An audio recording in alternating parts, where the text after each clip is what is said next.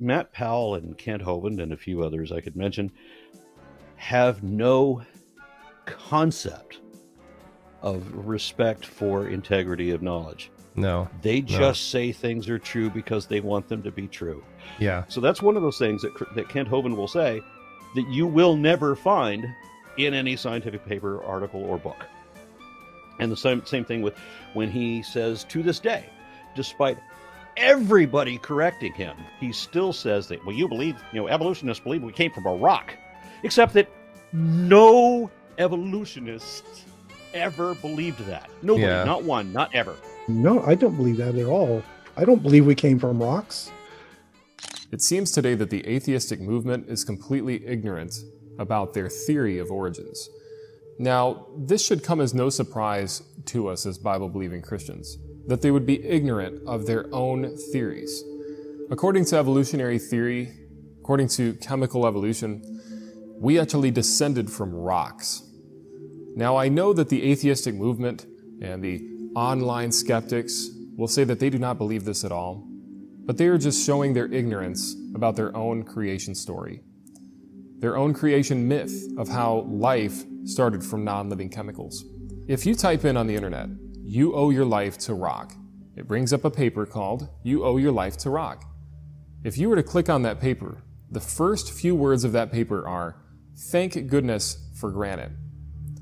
This paper goes on to say that we actually owe our life to rocks that were rained on. And what happened was these granite rocks were rained on for two million years, and it eroded the rocks to a point where multicellular life would be able to use the chemical compounds that were eroded from the rocks to be able to come into existence. We are multicellular organisms.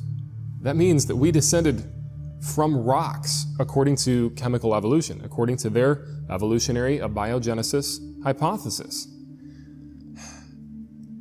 It's so insane.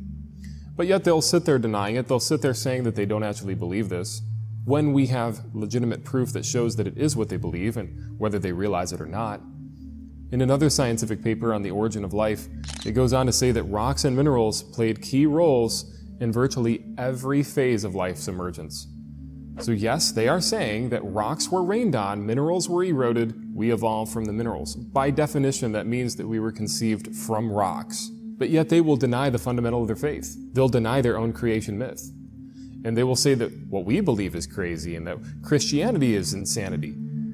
You know what's insanity? Saying that the universe created itself from nothing. And then after that creation from nothing, that rain created itself, rained for two million years on some rocks, turned the rocks into soup. The soup came alive, and we descended from these single celled organisms that became multicellular and turned into fish and then into fishermen. That is a fairy tale for grown ups. And if somebody actually believes that, it just shows that they cannot be trusted in any sense whatsoever scientifically. Because if they're willing to believe something that crazy, they're going to spew nothing but inaccuracy after inaccuracy after inaccuracy. They're just going to spew nothing but lies and falsehoods because they don't actually care about what truth is. They don't care about what facts are. I should throw out there that, that uh, Matt Powell did much the same thing with me that, that Kent did with you. That we, all of us here today, believe that we came from rocks, even though nobody believes that. If you get into a debate with them, you got to spend half your time explaining, no, I don't believe that at all. I don't believe we came from rocks. and instead resort to your typical misrepresentations of science, like claiming I think life came from a rock, no matter how many times I explain to you that those are stupid things to say. Now, this should come as no surprise to us as Bible believing Christians that they would be ignorant of their own theories. Despite everybody correcting him, he still says that, well, you believe, you know, evolutionists believe we came from a rock, except that no evolutionist ever believed that. Nobody, Yeah. not one, not ever.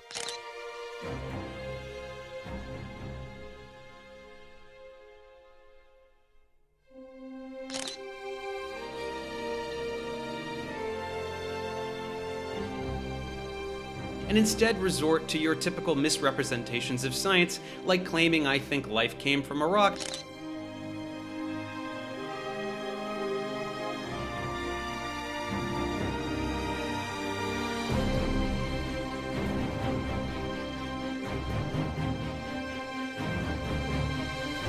So when you come on here and say nobody believes, or when you get on your channel, nobody believes that we came from rocks, that's just a lie. You're just hearing that from other atheist YouTubers.